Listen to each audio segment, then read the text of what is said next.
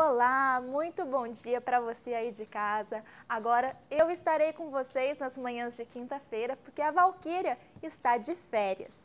E o ano acabou de começar e o A12 já tem muitas novidades para vocês.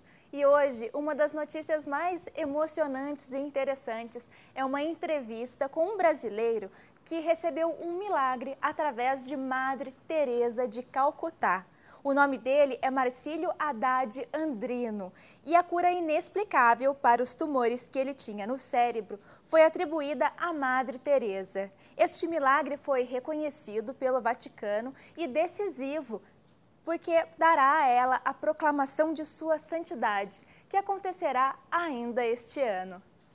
E para os que visitam a Casa da Mãe ao longo do ano, Hoje nós temos uma matéria que mostra os serviços que o Santuário Nacional oferece aos romeiros. Dentre estes serviços, nós temos segurança 24 horas, fraudários, ambulatório médico, tudo para melhor acolher os nossos visitantes. Nesta matéria, nós temos também uma entrevista exclusiva com o reitor do santuário, que traz o balanço de 2015 e cita algumas informações muito importantes, como, por exemplo, que no ano passado nós recebemos cerca de 12 milhões de romeiros e que os meses de maior movimento foram novembro e dezembro.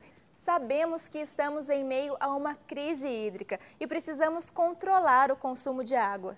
E você, está economizando? O que está fazendo para controlar o consumo aí da sua casa? Pois saiba que hoje no A12 nós também temos dicas de como evitar o desperdício, preservar o meio ambiente e ainda economizar um dinheirinho na hora de pagar a conta. Então não deixe de acessar o portal a12.com. Temos sempre uma boa notícia para você. Um abraço, até semana que vem!